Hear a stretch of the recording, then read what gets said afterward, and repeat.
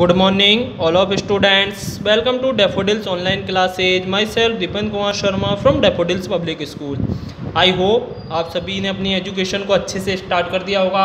जो भी lectures video school से प्रोवाइड हो रहे हैं, आप उन्हें देख भी रहे होंगे एंड उनसे अपनी रीडिंग को स्टार्ट भी कर दिया होगा। एंड जो भी वर्क आपको पीडीएफ से हो या स्कूल में टीचर्स के द्वारा बोर्ड पर राइट करवाया गया हो, आप उसे अपनी पार्टिकुलर नोटबुक्स हर विषय की पार्टिकुलर नोटबुक्स बनाएँ, उसमें उसको राइट करें एंड टीचर्स को भी सेंड करें, जिससे आपका होमवर्क भी चेक हो सके। ओके गाइज़ तो क्लास फोर्थ के सभी स्टूडेंट्स अपनी बुक का पेज नंबर एट ओपन कर लें। तो हम इंग्लिश की बुक में हम first chapter the scholar's mother tongue उस व्यक्ति की मातृभाषा के बारे में पढ़ रहे थे, प्रसिद्ध व्यक्ति। तो हमने देखा कि बीरबल और अकबर की कहानी थी कि एक बार अकबर के दरबार में एक बहुत ही बुद्धिमान और चतुराई वाला एक व्यक्ति आया और उसने सभी को चैलेंज दिया कि वह कैसा व्यक्ति था। वह एक ही प्रश्न का कई भाषाओं में जवाब देने वाला व्यक्ति था। तो उसने अपने सभी को चैलेंज लगाया कि अगर कोई भी मेरी मातृभाषा को बता सकता हो तो बताए। ठीक है? उससे कई लोगों ने ऐसा सुनकर प्रश्न भी किए तो उसने कई भाषा में उनके उत्तर भी दे दिए, ओके? तो इससे आगे हम पढ़ते हैं वन डे एक दिन द एम्प्रर राजा एंड द स्कॉलर जो एम्प्रर था, सम्राट यानी अकबर एंड द स्कॉलर और उसके सेनापति वर स्ट्रोलिंग घूम रहे थे आवाराव की तरह इन द रॉयल गार्डन जो राजमहल था, उसके बगीचे में घूम रहे थे। सडनली अचानक the scholar challenge the emperor. जो स्कॉलर था, जो वो व्यक्ति था प्रसिद्ध, उसने चैलेंज चैलेंज लगाया द एम्प्रर राजा से।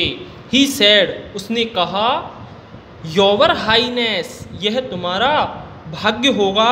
वाई की टुमारो योवर को कोटरीज शुड टेल मी कि यह तुम्हारा भाग्य होगा।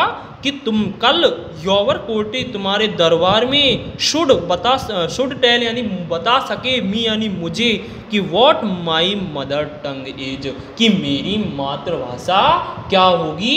यह मेरा भाग्य मैं बहुत अच्छा मानूँगा कि अगर आपके दरबार में से कोई भी मुझे अब ये बता सके कि मेरी मातृभाषा क्या है।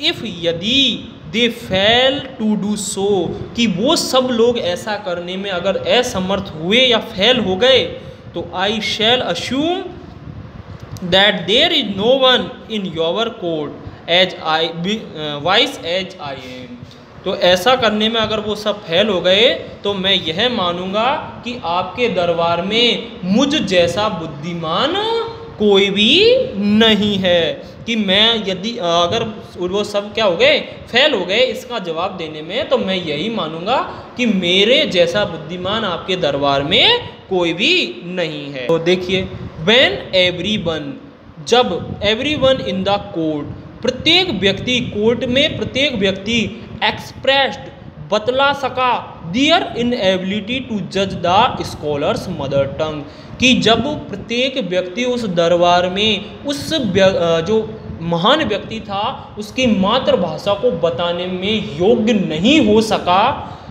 जब सबने, सब लोगों से पूछा गया कि बताओ भाई इसकी मातृभाषा क्या है तो सभी जो दरबार में बैठे हुए थे ना तो सब पे उसका कोई किसी पर भी आंसर नहीं दिया गया।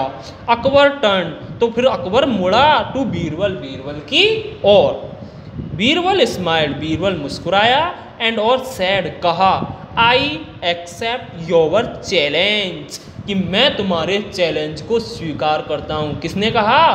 बीरबल ने उस स्कॉलर से कहा। बट लेकिन आई नीड सम टाइम मुझे कुछ समय की आवश्यकता होगी। देखो, मैं आंसर तो दे दूँगा, लेकिन मुझे कुछ समय और चाहिए कि मैं पता लगा सकूँ आपकी मातृभाषा क्या है। Maybe till tomorrow morning. कब तक? कल सुबह तक का समय मुझे दे दीजिए तो मैं आपकी मातृभाषा का बता दूँगा। टाइम बाज ग्रांटेड टाइम उसको दे दिया गया। बीरबल को टाइम दे दिया गया। एंड और द कोर्ट बाज डिसमिस्ड और जो वो दरबार था, वो डिसमिस यानी ख़त्म कर दिया गया उस समय। द नाइट दैट नाइट उस रात, बीरबल वेंट बीरबल गया। To the scholar's quarter scholar के क्वार्टर यानी जो जहाँ पर रुका हुआ था ना स्कॉलर वो प्रसिद्ध व्यक्ति, वहाँ वो गया। एंड और क्वाइटली चुपचाप एंटर्ड घुस एंटर यानी प्रवेश किया हिज बेडरूम उसके जो सोने वाला कमरा था जिसमें वो सो रहा था, उस कमरे के अंदर उसने बीरबल जी ने एंटर यानी प्रवेश कर गए। वेन जब the scholar was fast asleep जब वो व्यक्ति था, वो बहुत ही गहरी नींद में सोया हुआ था। Birbal tickled his ear with hay.